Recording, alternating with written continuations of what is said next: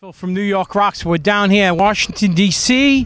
for here for the Zadroga bill. And here he is, Mr. Joe Zadroga. Pleasure to meet you and thank you for everything you do. And um, my condolences to everything you've went through Thank and you. you're going through still today, which is Yeah, we, we insane. Got, we, we got to get this passed. You know, I- I'm getting, not that I'm getting tired. I'll come down here forever, but I really would like to see this bill get passed Mm-hmm. so we don't have to come down here. And so these people that are sick Right. will have the uh, confidence and, and uh, peace of mind to know that they're going to be taken care of. That's what the most important thing is about this bill now. now the people that don't know who you are, would you Yeah. run it run it through? You're, Yeah, Okay. I'm retired chief from New Jersey. My Mm-hmm. son was Detective James Zadroga, who the, the, the bill was Okay, named after.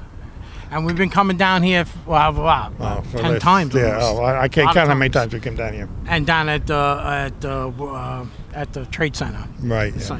yeah.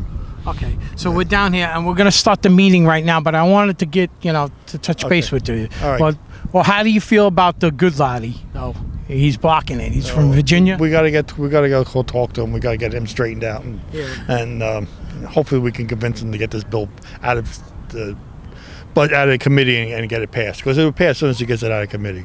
Well, why do you think he put the block on that? I have no idea, and that's why I'd like to go and talk to him about. That's it. Uh, as of yet, I haven't had a meeting with him. I keep on trying to get a meeting with him. I am going to go speak to some of his staff members today, so maybe they can enlighten us a little bit. Well, best of luck to you and thank you very much. And we're about to start right now. Okay. Thank you.